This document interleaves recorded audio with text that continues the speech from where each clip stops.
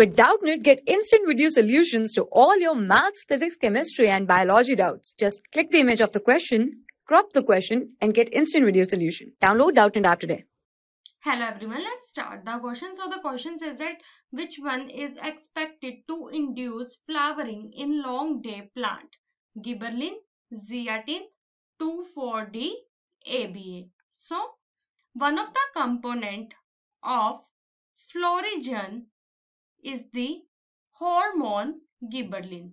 Okay, hormone gibberellin that induce action of florigen. Okay, that induce action of florigen and thereby inducing flowering in long day plants. The process is normal depend on exposure exposure to low temperature to low temperature or or long days.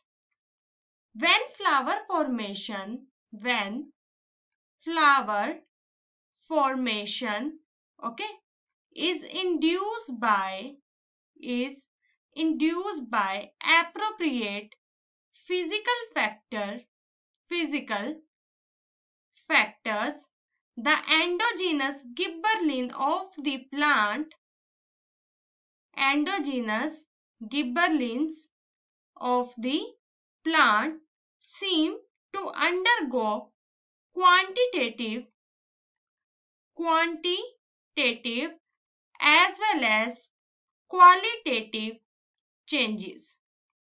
Okay.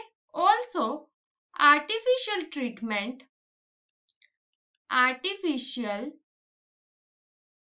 artificial treatment of long day plant, okay, with gibberellins, with gibberellins in case when the hormone is absent induce okay induce flowering in the plant. So, the right answer will be option number 1, gibberellin. Thank you. For class 6 to 12, IIT JEE and NEET level.